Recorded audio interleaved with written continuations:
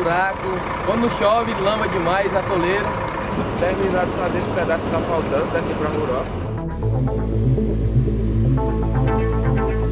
Todos falam é o asfaltamento da rodovia, que até então só tem, tem Medicilândia.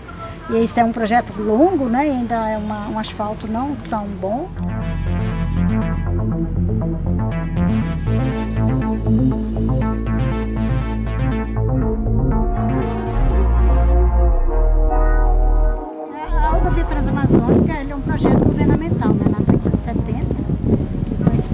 De ocupação da Amazônia, o governo militar instaurou um processo de abertura de uma grande rodovia e aqui no Xingu, em Altamira, ela iniciou, né?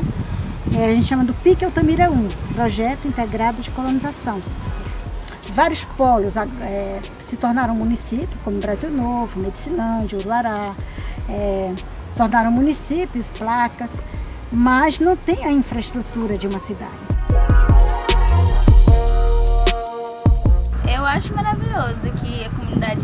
Calma, pacata eu acho muito bom. Que o movimento mais é da Transamazônica mesmo e da onde a gente tira a nossa renda. Né? Agora veio a barragem, né? Aí criou mais um movimento, ficou bastante movimentado, só que foram embora, né? Acabou tudo a barragem. Ainda tá lá algumas, pessoas, mas aqui mesmo na vila não tem mais quase ninguém que trabalha lá.